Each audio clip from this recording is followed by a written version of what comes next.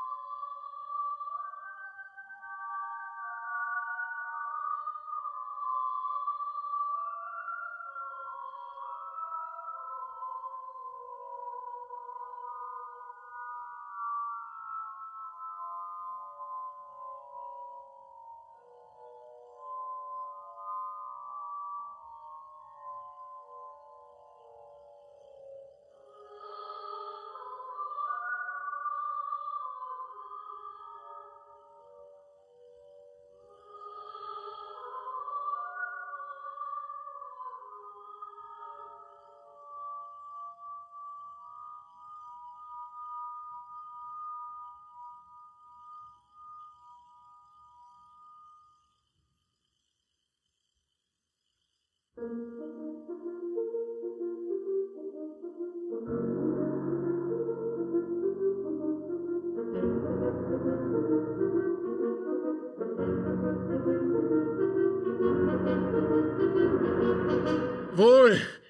ich jage, ja, ich jage. Dort der Eber, aufgewühlt schaukelt noch das Unterholz, hier der Speer und hier der Jäger. Nein, ich bin das Wild. Mich jagt es. Hunde sind in meinem Rücken, ihre Zähne mir im Fleisch, mir im Hirn sind ihre Zähne.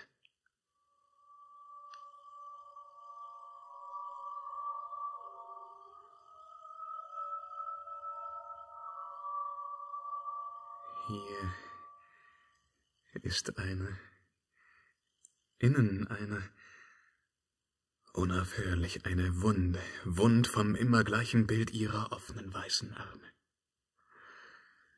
Und daneben harrt daneben das Gefühl von ihrem Lachen. Nicht der Klang, nur das Gefühl wie ein lautlos warmes Rieseln. Blut. Mein Blut ist voll von ihr. Alles Hirn, Herz, Augen, Ohren. In der Luft an allen Bäumen klebt ihr Glanz. Ich muss ihn atmen. Ich will los. Die Ohren habe ich angefüllt mit Lärm der Hunde. Meine Augen bohr ich fest in das Wild. Ich will nichts spüren als das Keuchen, als das Flüchten dieser Rehe, dieser Vögel. Und ein totenhafter Schlaf soll mir nachts mit Blei versiegern, diese Welt. Doch innen Innen ist die Tür, die nichts verriegelt. Keine Nacht mehr. Diese Nächte brechen, was die Tage schwuren. Steh! Es wird ja keine kommen. Sieben sind hinab vorbei. Sieben? Jetzt nur, jetzt nichts denken. Alle schwindelnd, alle schwach. Jagen und nur immer jagen, nur bis diese Sonne sank, diesen Taumel noch ertragen. Trinken hier, doch nicht besinnen.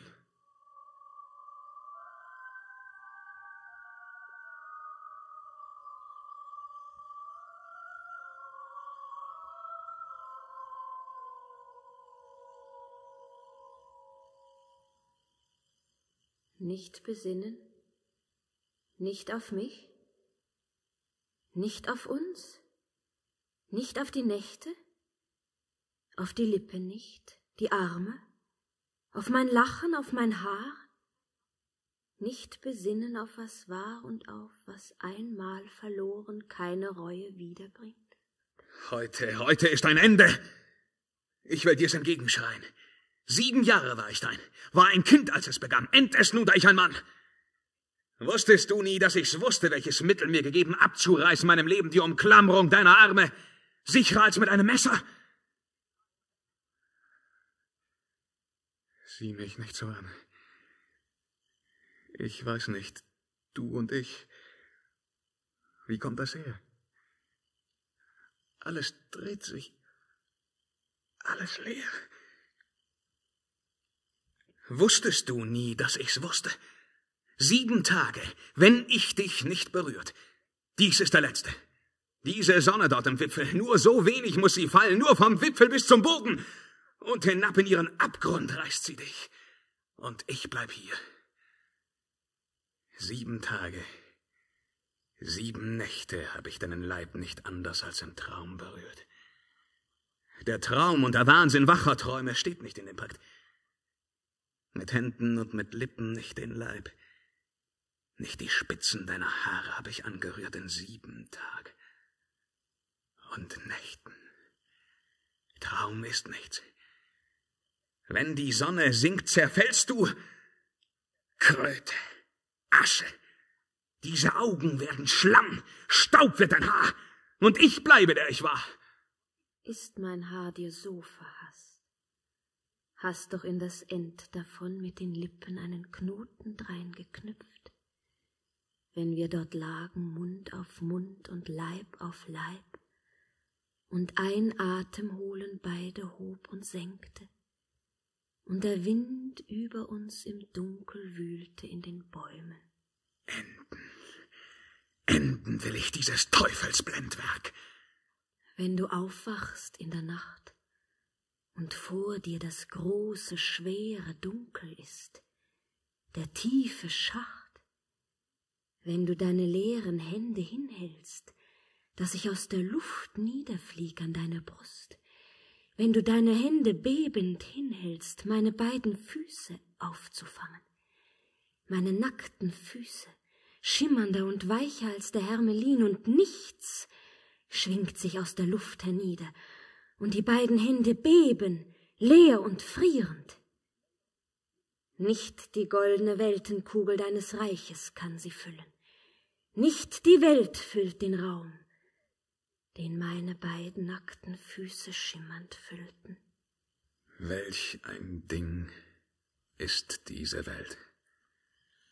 Sterne, Länder, Menschen, Bäume, ein Blutstropfen schwemmt es fort. Jeden Vorhang hebst du auf, windest dich in den Gebüschen, streckst die Arme in die Luft, und ich komme nie mehr. Stunden schleppen hin, die Tage leer, leer die Nächte und den Dingen ihre Flamme ausgerissen, jede Zeit und jeder Ort tot, das Glühen alles fort. Muss ich denn allein hier stehen? Gottes Tod, ich bin der Kaiser. Meine Kämmerer will ich haben, meine Wachen, Menschen, Wachen! Brauchst du Wachen, dich zu schützen, armer Kaiser, vor dir selber? Droh ich dir? Rühr ich dich an? Nein, ich gehe. Und wer will, kommt mir nach und wird mich finden. armer Kaiser. Nicht dies Lachen. Einmal hat sie so gelacht. Was dann kam, ich will's nicht denken. Hexe. Hexe, Teufelsbuhle. Sehen. Ich will dich sehen, ich will nicht stehen wie damals vor dem Vorhang. Gottes Tod, ich will's nicht denken. Faune, ekelhafte Faune küssen sie. Die weißen Hände toter aus dem Grab gelockter Heiden sind auf ihr. Des Paares Arme halten sie umwunden. Ich ertrage es nicht, ich reiße sie hinweg. Mein hoher Herr. Was? Und was? Wer schickt dich her? Herr, es war, als ob du riefest nach den Kämmerern, dem Gefolge. Rief ich. Und du hörtest. Gut. Hier ist alles still. Nicht wahr? Herr, die Jagd zog dort hinunter. Lass die Jagd. Du hörst hier nichts? Nichts von Flüstern? Nichts von Lachen? Wie? Ich will meinen Hof um mich. Meine Frau, die Kaiserin, soll hierher. Mein Kind soll her. Um mich her mein ganzer Hof. Ringsum sollen Wachen stehen. Und so will ich liegen. Liegen. Auf den Knien die heilige Fahne. Zugedeckt, so will ich warten, bis die Sonne. Wohin gehst du? Herr, zu tun, was du befahlst, deinen Hof hierher zu rufen. Bist der Jüngste von den Kämmerern? Nicht zu jung für dich zu sterben, wenn mein Blut dir dienen kann. Heißt? Tarquinius Morandin. Niemands Blut kann niemand dienen. Es sei denn sein eigenes. Herr, zürn mir nicht. Die Lippen brennen, einmal dir's herauszusagen. Was? Nun, was? Geliebter Herr, dass ich fühle, wie du gut bist, so mit Hoheit und mit Güte, wie ein Stern mit Licht beladen. Kämmerer, du bist ein Kind, wenn du nicht ein Schmeichler bist. Junge Menschen sind nicht gut. Und ob älter auch wie du, bin ich jung. Nimm dich in Acht. Nimm du dich in Acht.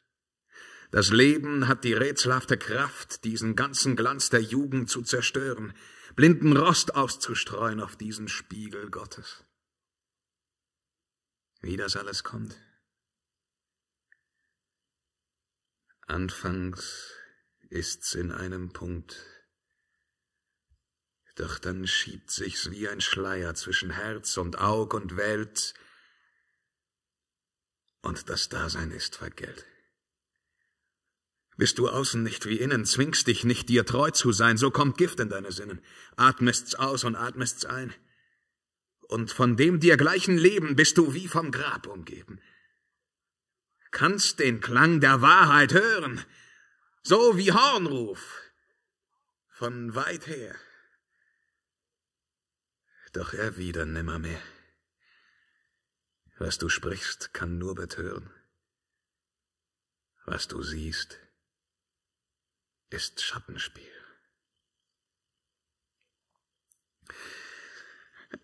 Kehr dich nicht an meine Reden. Nimm's, als käme es dir von einem, den du sterben vor am Wege liegen findest. Nimm's an dich, drück's an dich wie eine Lampe, wenn dich Finsternis umschlägt. Merk dir nichts als dieses eine. Wer nicht wahr ist, wirft sich weg. Doch vielleicht begreifst du dies erst, wenn es zu spät ist. Merk dies allein, nicht eine einzige Stunde kommt zweimal im Leben. Nicht ein Wort, nicht eines Blickes ungreifbares Nichts ist je ungeschehen zu machen. Was du getan hast, musst du tragen so das Lächeln wie den Mord. Und wenn du ein Wesen lieb hast, sag nie mehr bei deiner Seele, als du spürst. Bei deiner Seele. Tu nicht eines Halms Gewicht mit verstelltem Mund hinzu. Dies ist solch ein Punkt, wo Rost ansetzt und dann weiterfrisst.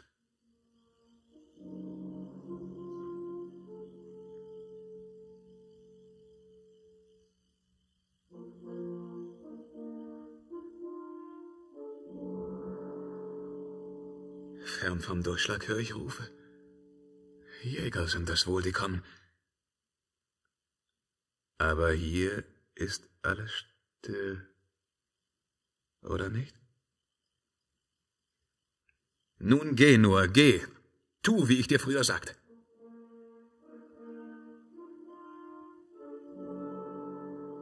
Hierher rufe ich das Gefolge. Ja. Was noch? Du hast befohlen.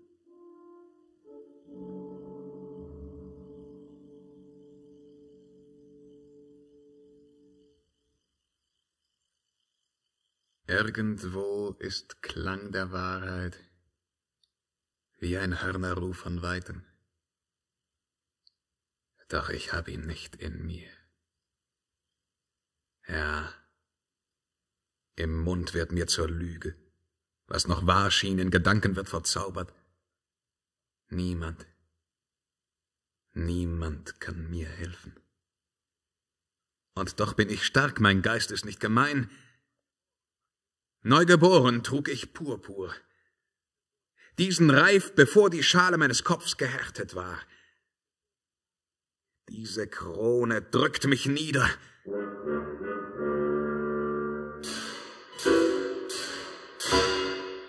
Doch sie schließt das Weltall ein. Diese ganze Welt voll Hoheit und Verzweiflung, voll von Gräbern und von Äckern, Bergen, Meeren, alles schließt sie ein. Was heißt das? Was ist mir dies alles? Welche Kraft hab ich, die Welt zu tragen? Bin ich mir nicht Last genug?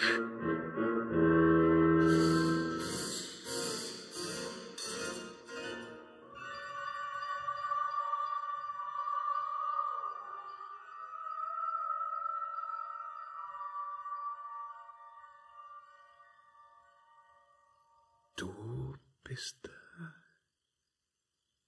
Wo bist du? Rede!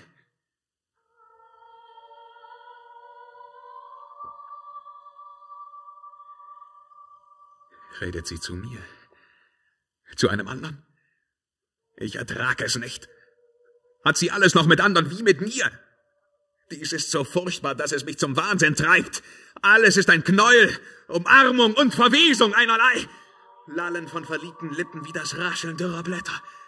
Alles könnte sein, auch nicht. Menschen. Menschen! Ich will Menschen!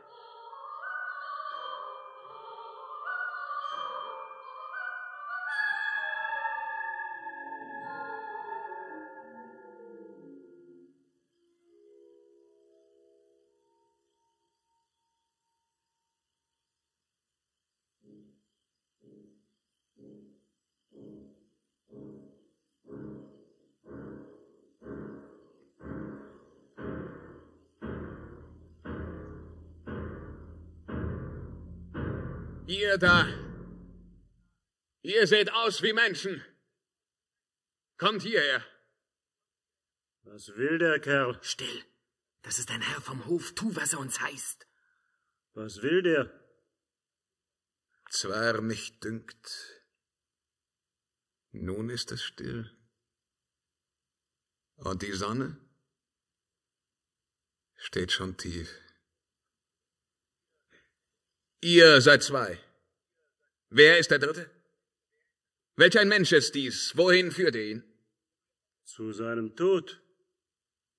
Warum muss er sterben? Herr, Lydus ist es. Lydos? Herr, wenig weißt du, was im Land, was sich im Gebirge eignet, wenn du nichts von diesem weißt. Dein ganzes Land verbrannte, Feuer warf in dreizehn Städte, sich Statthalter Gottes nannte und der ungerechten Geißel, selbst ein ungerecht Begehren wie ein Rad von Blut und Feuer durch das Land des Friedens wälzend. Doch die Richter. Einen Richter? Der das Recht bog, wollte ich hängen. So fing alles an. Der Kaiser? Der doch Richter aller Richter. Herr, der Kaiser, der ist weit. Hier ist nicht der Weg. Beeilt euch weg von hier. Des Kaisers Jagd kommt bald hier vorbei. Der Kaiser.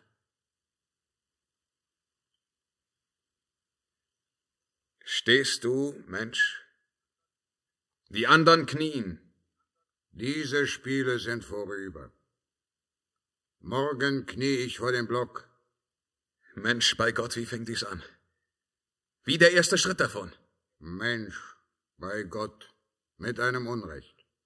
Das du tatest. Das ich litt. Und was weiter kam? Geschick. Und die Toten? Gut verstorben. Und was morgen kommt? Das Ende. Das höchst nötige, gerechte Ende. Doch gerecht. Jetzt wohl. Kämmerer, gib ihm meinen Mantel und mach ihm die Hände frei. Die Galeeren nach Dalmatien warten, weil ich keinen Führer noch genannt. Ich nenne diesen, diesen Lydus. Als ich in der Wiege lag, trug ich Purpur. Um mich her stellten sie im Kreise Männer, und auf wen mit unbewusstem Finger ich nach Kindesart lallend deutete, der war über Heere, über Flotten, über Länder zum Gebieter ausgewählt.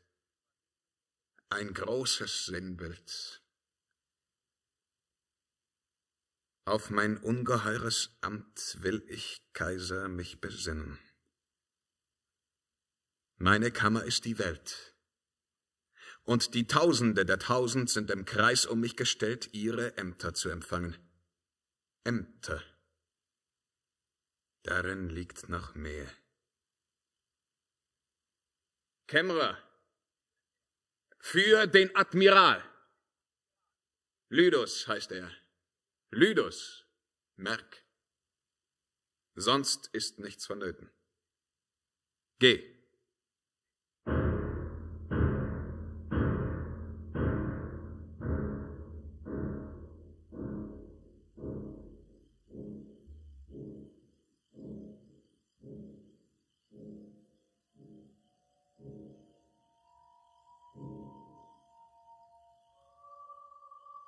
Doch wie eitel ist dies alles.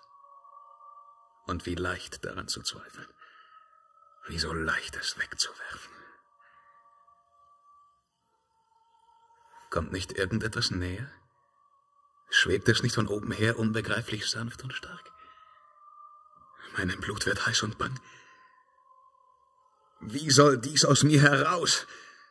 Nur mit meinen Eingeweiden denn ich bin darin verfangen wie der Fisch, der allzu gierig eine Angel tiefer schlang. Sklave, Hund, was stehe ich hier? Weiß, dass sie mich nehmen will. Steht ihr selbst am Kreuzweg still. Dies muss sein. Ich will mich selber an den Haaren weiterschleppen bis zum Sinken dieser Sonne. Jagen, Jagd ist alles. Schleichen auf den Zehen mit dem Spieß. Eigene Kraft in eines fremden Lebensleib so wie der Blitz hineinschleudern.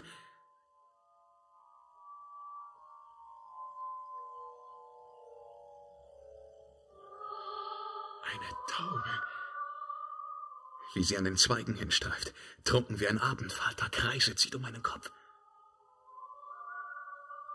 Wo der Spieß? Doch hier der Dolch. Hier und so! Hey, getroffen. Togontame. Wessen Stimme? Vogel war's, die Taube flog. Was für Augen. Welche Lippen. Lieber, schlägst du mir mit Eisen rote Wunden? Dort, wo deine Lippen lagen, oft und oft. So ist alles aus. Leb wohl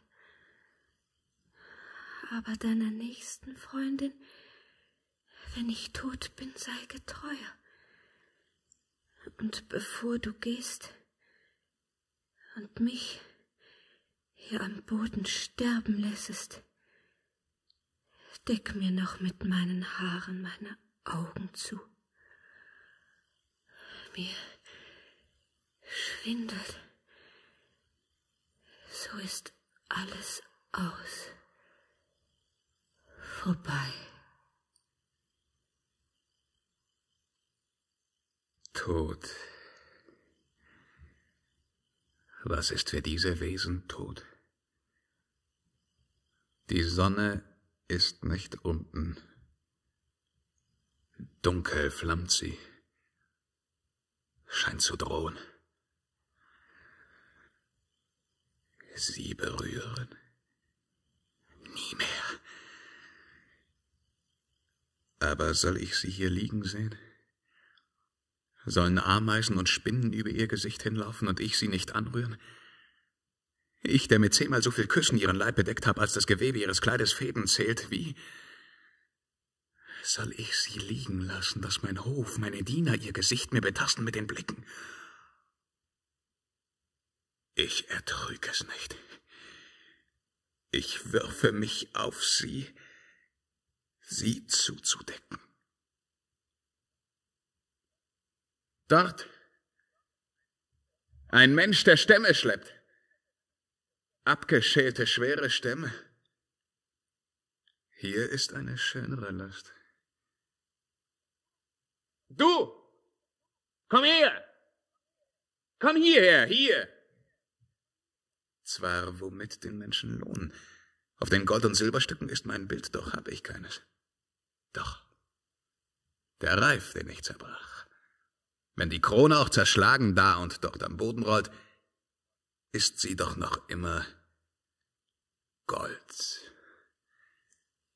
Wohl. Solange du geformt warst, warst du viel.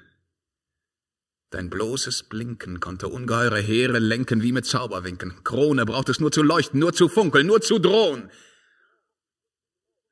Kaum die Dienste eines Knechtes zahlt dein Stoff, der Form entflohen. Mitten drunter kann ich denken, ruhig denken, sonderbar. Herr, was riefst du, dass ich tun soll? Diesen Toten. Herr, ein Weib? Frag nicht, schaff sie fort. Fort? Wohin? Gleich viel. Ins Dickicht. Wo keiner sie sieht. Wo ich sie nicht sehe. Später dann. Hier ist Gold für deine Arbeit. Dies? Dafür? Für nichts als das? Nicht genug? Komm später wieder. Nicht genug. Es wäre genug, mir mein Leben abzukaufen. Herr, wer bist du? Um dies Gold stoß ich dir am hellen Tag, wen du willst von deinen Feinden, während er bei Tisch sitzt, nieder. Um dies Gold verkauft dir meine Schwester ihre beiden Töchter. Später dann, wenn's dunkel ist, kommst du wieder und begräbst sie. Gräbst im Dunkeln ihr ein Grab, aber so, dass auch kein Wiesel davon weiß und je es aufspürt. Hüte dich. Ich will es graben, dass ich selber morgen früh nicht den Ort zu sagen wüsste.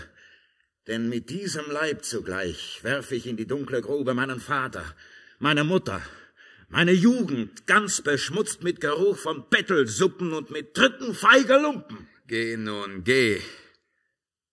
Doch hüte dich, dass du sie nicht anrührst, nicht mehr als nötig, sie zu tragen. Ich erführ es, sei versichert, ich erführ's. Und hinter dir schickte ich dann zwei, die grüben schneller, dir ein Grab im Sand, schneller noch und heimlicher, als du diese wirst begraben. Herr, ich tue, was du aufträgst. Herr, ich werde sie begraben. Ist sie fort? Für immer fort? Und die Sonne doch noch da? Zwar nicht Tag, nicht schöner Tag, vielmehr Nacht mit einer Sonne. Und ich tat es wirklich. Tat es. Unsere Taten sind die Kinder eines Rauchs. Aus rotem Rauch springen sie hervor, ein Taumel knüpft, ein Taumel löst die Knoten. Diese Tat hat keinen Abgrund zwischen mich und sie getan. Ihren Atem aus der Luft mir nicht weggenommen, nicht ihre Kraft aus meinem Blut. Wenn ich sie nicht noch einmal sehen kann, werde ich nie glauben, dass ich mich mit eigenem Willen von ihr losriss. Dies noch einmal sehen, dies, was eine Hand zudeckt, dieses kleine Stück ihres Nackens, wo zur Schulter hin das Leben sich so trotzig und so weich, so unbegreiflich drängt, nur dieses eine sehen. Sehen und freiwillig nicht, nicht berühren. Aber wo? Fort. Er trug sie. Ich befahl.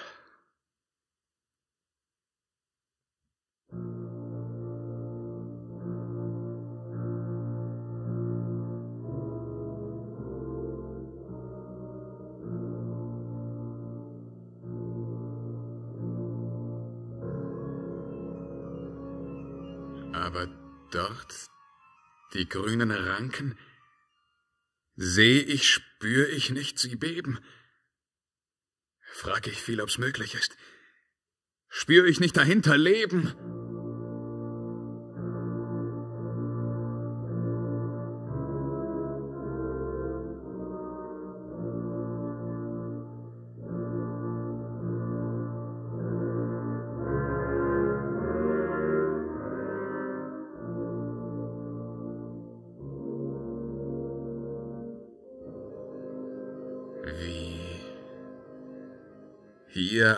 Ein Mensch?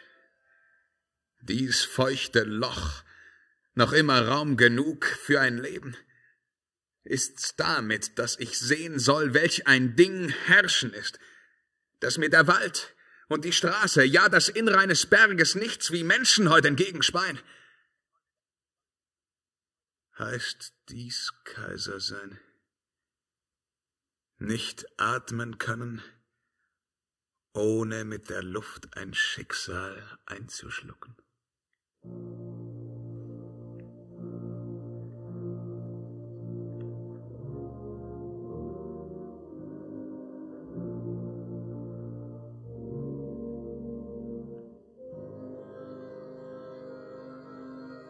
War es Sturm, der meine Türe aufriss? Weh, es ist nicht Nacht. Nicht das kleine Licht der Sterne rieselt auf die Hände nieder. Schwere Sonne, schwacher Wind. Diese Stirn, die riesenhaften, ohnmächtigen Glieder. Innen ist mir alles dieses hab ich schon einmal gesehen. Wann? Kindertage. Kindertage. Hier ist irgendein Geheimnis. Und ich bin darein verknüpft, fürchterlich verknüpft.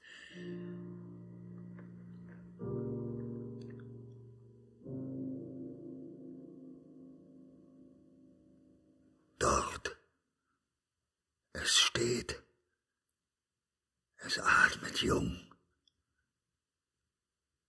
Wie ein junges Tier. Ein Mensch. Hab Erbarmen. Ich bin blind. Lass mich leben. Leben. Leben. Alter Mann, ich tu dir nichts. Sag mir deinen Namen. Lass mich leben. Hab Erbarmen. Fühl, ich habe leere Hände. Sag mir, wer du bist. Fühle meine leeren Hände.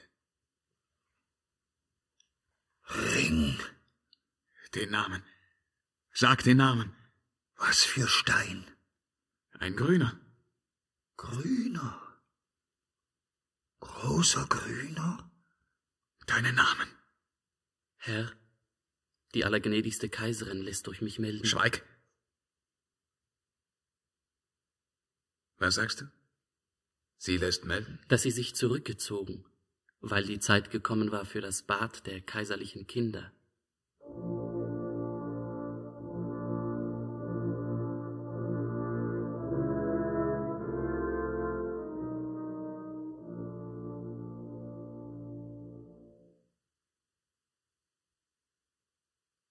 Kämmerer, ich habe diesen Menschen im kaiserlichen Forst gefunden. Wer ist das? Kannst du mir sagen, wer das ist? Kämmerer, wer ist der Mann? Mich dünkt, ich sehe ihn heute nicht zum ersten Mal. Kämmerer, wer? Wer ist das? Tarquinius, du bist zu jung, um mich anzulügen. Sprich. Herr, er trägt ein Band von Eisen um den Hals geschmiedet, einen schweren Ring mit einer Inschrift. Ich, Johannes der Pannonier, ward durch 33 Tage Kaiser in Byzanz. Geblendet bin ich nun und ausgestoßen als ein Fraß der wilden Tiere auf Befehl Lies weiter, Kämmerer. Auf Befehl des höchst heiligen, höchst weisen, des unbesiegbaren, erlauchtesten Kindes? Kindes? Lies. Dein Name, Herr.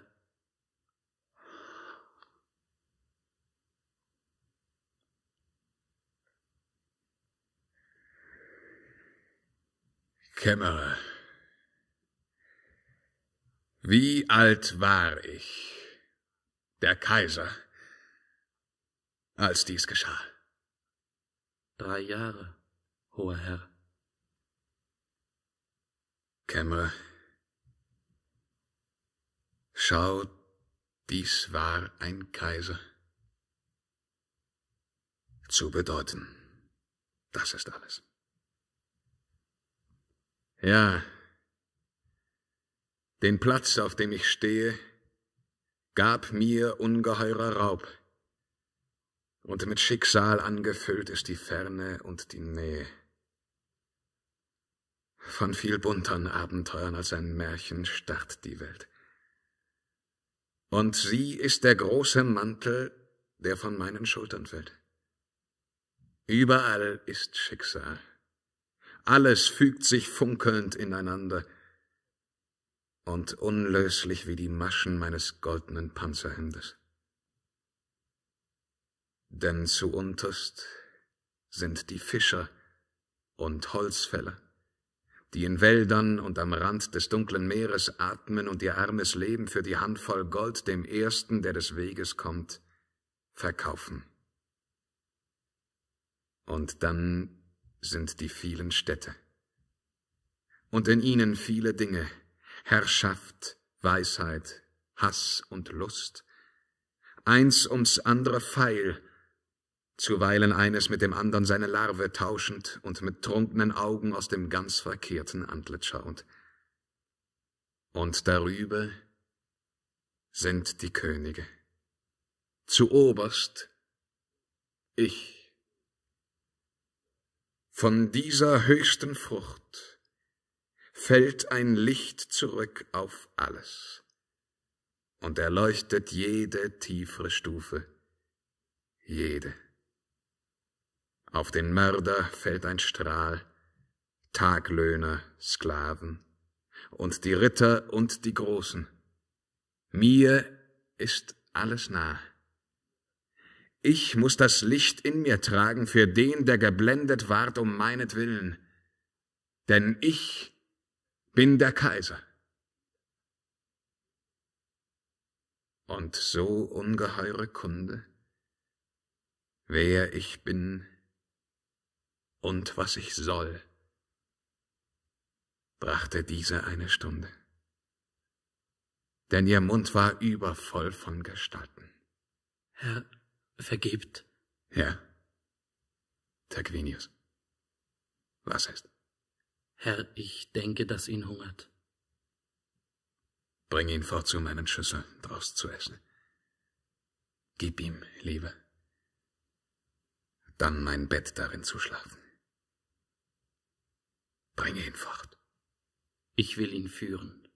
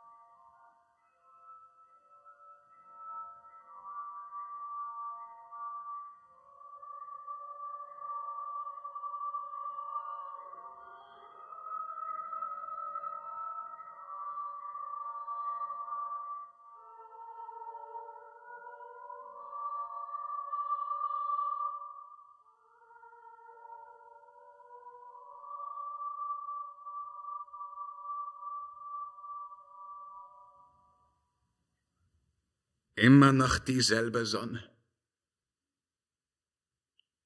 Ja.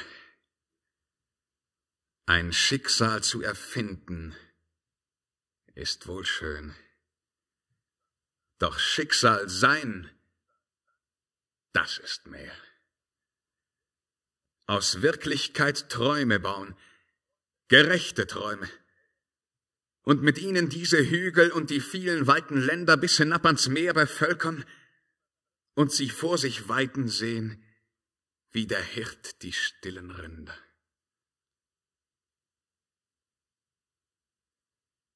Grauenhaftes des Vergangen gibt der Gegenwart ein eigenes Leben, eine fremde Schönheit und erhöht den Glanz der Dinge wie durch eingeschluckte Schatten.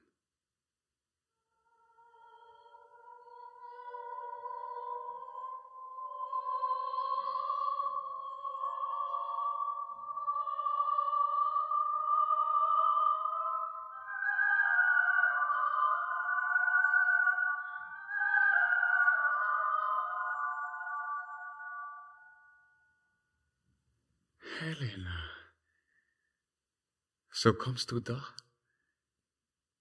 Wenn du kommst, so sind die Kinder wohl gebadet, Helena. Lass uns von den Kindern reden. Zwar du redest von nichts anderem. In der Kammer, wo sie schlafen, wohnt die Sonne, Regenbogen, Mond, die schönen klaren Sterne, alles hast du in der Kammer, nicht? Mich dünkt, du lächelst nicht lächelst doch so leicht. Zuweilen bin ich blass vor Zorn geworden, wenn ich sah, wie leicht dir dieses Lächeln kommt, wenn ich bedachte, dass ein Diener, der dir Blumen bringt, den gleichen Lohn davon hat wie ich selber. Es war Unrecht. Heut begreife ich's. Über alle Worte klar begreife ich's heute. Welch ein Kind du bist. Wie völlig aus dir selbst dies Kinderlächeln quillt. Ich bin so froh zu denken, dass ich mein, dass du es bist, die mir Kinder auf die Welt bringt. Meine Kinder, Helena. Wie von einer kleinen Quelle hergespült, wie aufgelesen von den jungen grünen Wiesen, die Geschwister ahnungslos aus dem Nest gefallener kleiner Vögel sind sie, Helena weil es deine Kinder sind.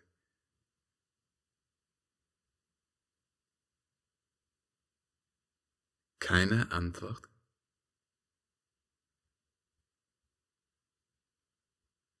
Und den Schleier auch nicht weg? Wir sind allein.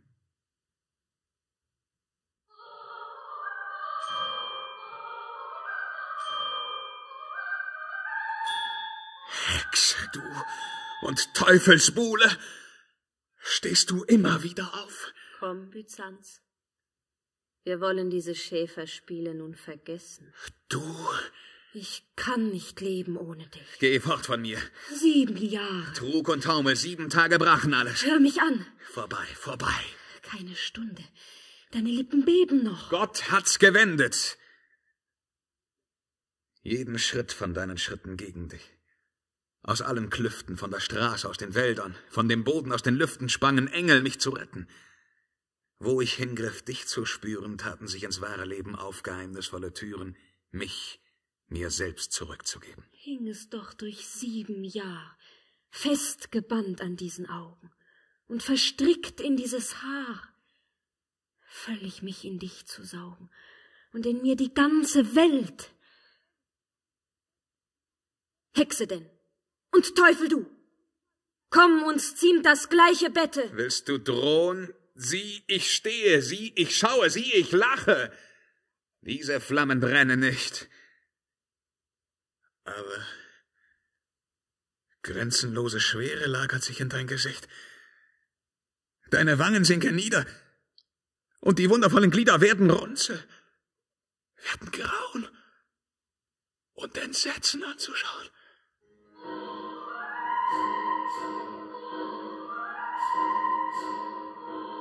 Sonne! Sonne! Ich ersticke. Gottes Tod. Dies halten. Haltet! Wachen! Kämmerer! Dort, dort! Dort!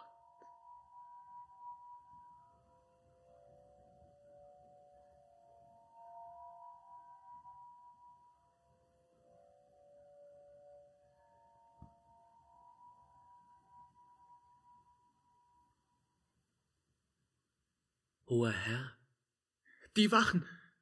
Dort! Sollen's halten! Herr, die Wachen sagen, niemand ging vorüber als ein runzlig altes Weib, eine wohl die Beeren sammelt oder dürres Holz. Vorüber.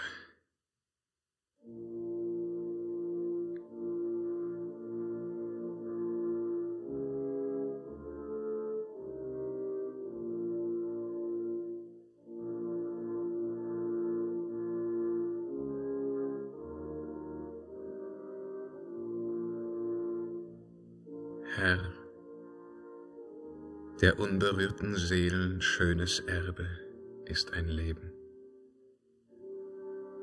Eines auch ist den Verirrten, denen eines Herr gegeben, die dem Teufel sich entwandten und den Weg nach Hause fanden.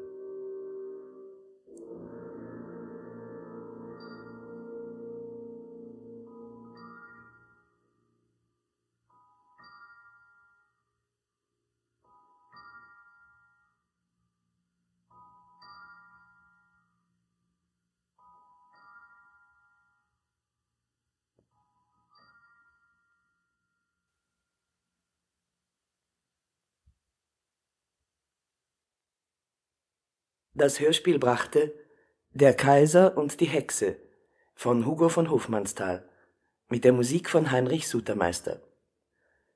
Die Rollen und ihre Sprecher waren der Kaiser Porphyrogenitus Jürgen Goslar, die Hexe Kyram Ladek, Tarquinius, ein Kämmerer Heinz Lück, ein Verurteilter namens Lydus Gerd Tellkampf, ein armer Mensch Hans Bernhard, ein uralter Blinder Kurt Ebbinghaus, erster Soldat Erich Buschardt, zweiter Soldat Ulrich Götsch, Toningenieur Friedrich Basan, Funkbearbeitung und Regie Friedrich Karl Kobbe